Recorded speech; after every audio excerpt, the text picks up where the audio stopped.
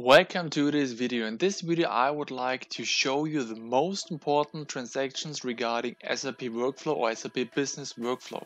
So with SAP Workflow you can automate repetitive tasks uh, using a workflow, um, so an automatic process, and there is an area menu directly within the SAP system, and that's the SWLD. Once you type in the ID of this area menu in the command field and hit the enter key, then you will open up the area menu regarding SAP Business Workflow and it's really nice because there the most important transactions regarding workflow are grouped in different folders. So for example here you have all the important transactions regarding definition tools again grouped in some subfolders uh, some transactions regarding runtime tools regarding reporting utilities and so on.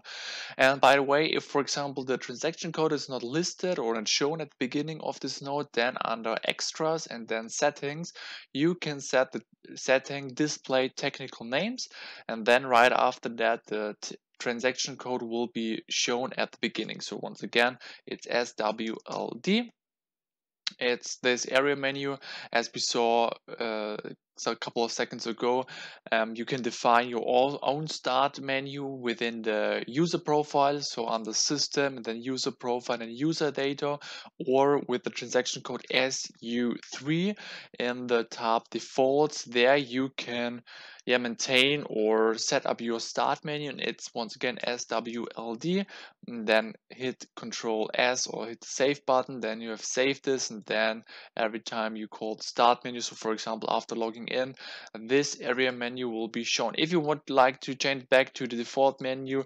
S000 you can just once again open up the user profile data SU3 or system and then user profile and user data and then you can change it back and of course, now I would like to show you, in my opinion, the very most important transactions regarding SAP Business Workflow. Of course, here are the very, very important ones. But of course, we have the SW01 uh, because this transaction is regarding maintaining business objects so it's the business object builder. Here you can yeah maintain the the objects the interface types.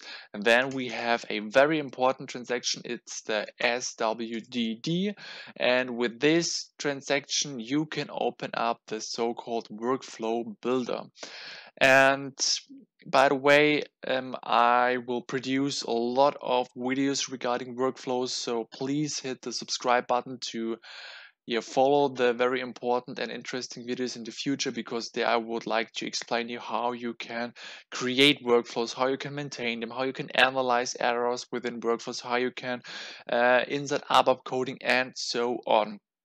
So within this transaction, the workflow builder, you will basically maintain workflows itself.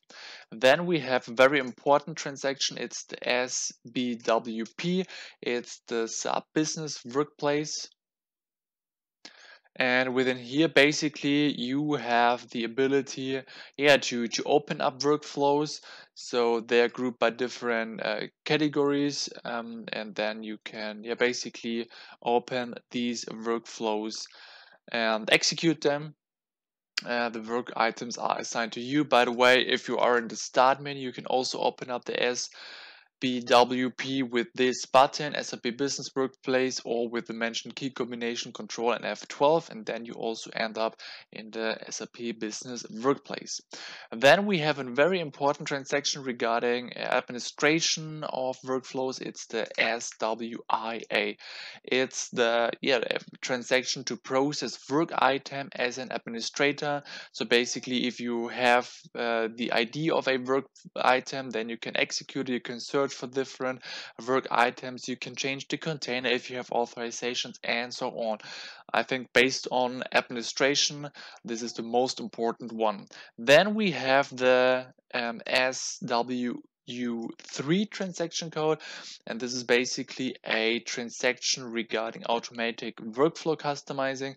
By the way I think uh, yeah this node is one of the most important settings you have to make in order to guarantee that your workflow uh, in general works. Uh, so basically this is set up by the SAP Basis team, but you have also here some nice shown settings if the workflow in general is working or not. And then we move over to the SWUE.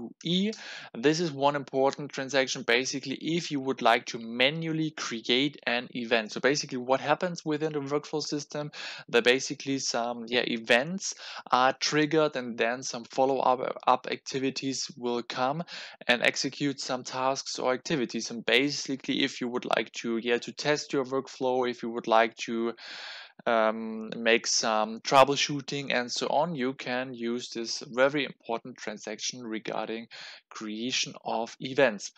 Then we will move over to the SWUD.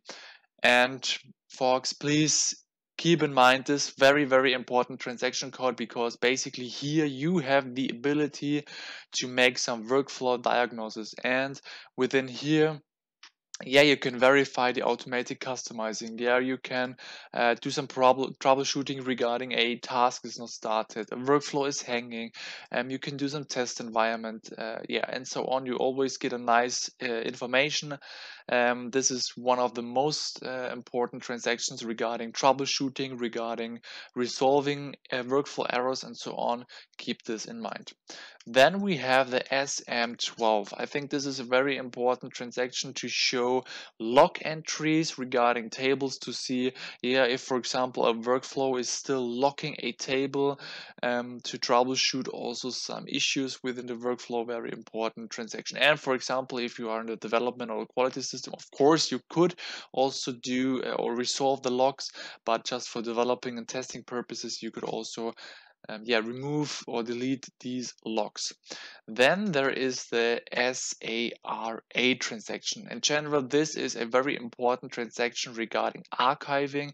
So within here, you will start the archive administration keep this in mind and then we have the SWI2 underscore diag uh, within here, you can access to work item analysis. So here, based on some selections, you can also some some tasks.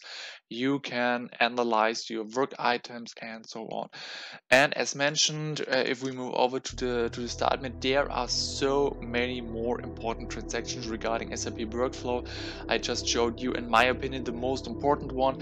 And yeah, as mentioned, I will produce a very uh, important and useful videos in the future regarding SAP workflow. Uh, if you have some wishes, if you have some questions, put them in the comment section. Please like this video and please subscribe this YouTube channel to get informed regarding the next videos. Thank you so much and then see you in the next video.